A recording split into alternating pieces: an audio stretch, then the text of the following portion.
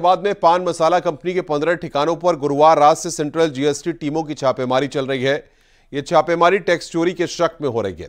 शुरुआती जाँच में कई करोड़ रुपए की टैक्स चोरी पकड़ी गई है। पान मसाला कंपनी पर बिना बिल बिक्री का आरोप है।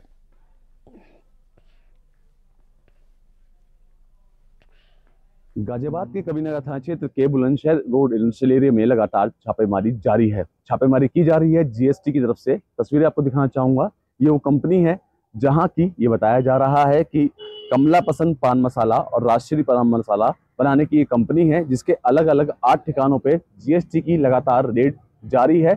इस रेड को तकरीबन 24 घंटे से भी ज़्यादा हो चुके हैं। बताया जा रहा है कि कई करोड़ रुपए की जीएसटी चोरी का जो आरोप इसके ऊपर लगा था, उसके बाद से लगातार यहाँ पर ये रेड जारी की गई है और रेड अभी भी बदस्तूर जारी है।